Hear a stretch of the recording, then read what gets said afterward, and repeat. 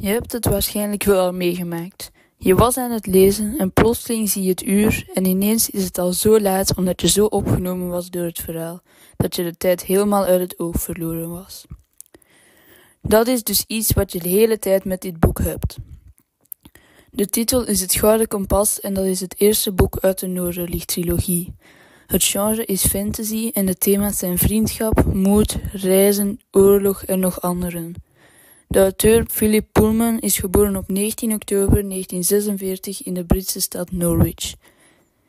In 2008 werd hij een van de 50 beste Britse schrijvers sinds 1945. Hij is vader van twee kinderen, James Pullman en Thomas Pullman. Zijn vrouw heet Judith Speller. en het boek zelf gaat over een meisje genaamd Lyra. Zij woont in een college in Engeland, daar is ze als wees naartoe gebracht en opgegroeid tussen de geleerden van het college. Haar beste vriend is een jongen genaamd Roger die in de keuken van het college werkt. Maar op een dag hoort ze van de lokkers. Dat zijn mensen die kinderen ontvoeren en Roger wordt ook door hen ontvoerd. Dus gaat ze naar hem op zoek en komt ze heel veel verschillende mensen en wezens tegen. Ondertussen probeert ze uit te zoeken wat die lokkers van plan zijn met de kinderen die ze ontvoeren.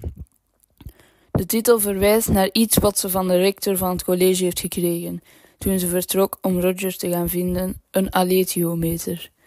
Dat is iets dat eruit ziet als een soort gouden kompas en het kan antwoorden op elke vraag die je, maar, die je stelt, maar de meeste mensen kunnen er geen vraag aan stellen omdat je de wijzers op allemaal verschillende symbolen moet zetten om, om je vraag te stellen. En dat kunnen de meeste mensen niet, maar Lira zoekt het uit en of haar dat lukt ga ik jullie niet vertellen. Om dat te weten te komen moet je het boek maar lezen. Het was zeker een van de spannendste en meeslependste boeken die ik ooit gelezen heb. Zelf al waren het wel redelijk veel pagina's, je zou het echt moeten lezen als je even de wereld rondom jou wilt vergeten, of als je gewoon een goed boek zoekt. Dank u voor jullie aandacht.